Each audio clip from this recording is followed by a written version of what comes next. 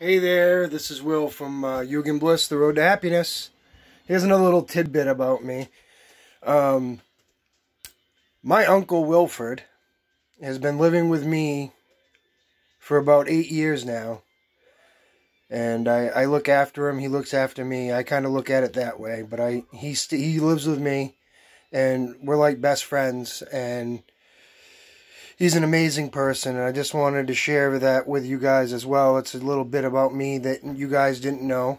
Um, he's not my biological uncle. Um, it's a long story, but he's not even blood related, but he is related to me because I love him. I love him with all my heart. So I just wanted you guys all to to understand that uh, I am who you look at every day in the camera.